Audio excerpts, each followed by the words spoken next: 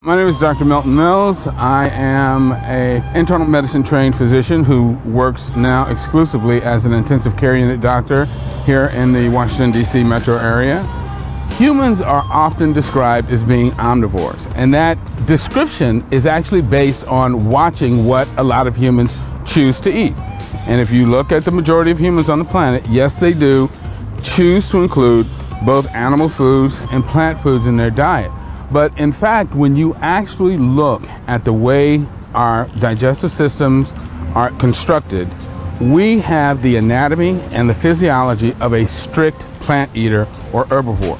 We don't have any adaptations in our digestive system or in our physiology that is adapted to eating or consuming animal flesh. And that's why we can't consume animal flesh without the aid of technology. But when you look at the jaw structure and jaw mechanics, our esophagus, our stomach, and the length of our intestines, it's clear that we have the anatomy of a committed herbivore. You know, one of the questions that all vegans and vegetarians get that drives me literally out of my mind where do you get your protein?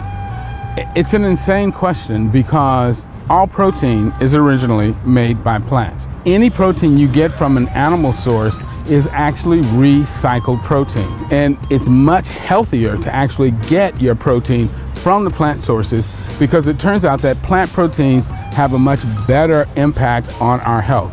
They are better for your immune system, they lower your risk of diabetes, heart disease, and cancer, whereas animal proteins, on the other hand, increase your risk for cancer, heart disease, and other problems. So you absolutely do not need animal food to get your protein. If you just stop and think about it, the largest, strongest animals on the planet are all strict herbivores.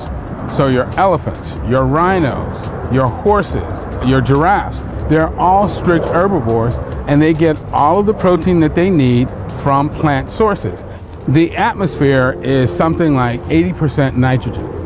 And only plants have the ability to take nitrogen from the air and change it into a form that can be incorporated into an amino acid, which is then connected together to form these proteins.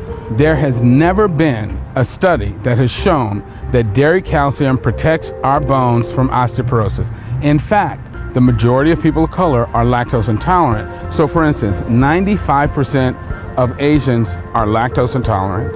73% of African Americans are lactose intolerant. 74% of Native Americans are lactose intolerant. And approximately 53% of Hispanics are lactose intolerant versus only about 30 to 33% of Caucasian Americans. The watershed moment came when I had this one African American woman who came in and said to me, I'm having this problem. And I said to her, Well, you're lactose intolerant.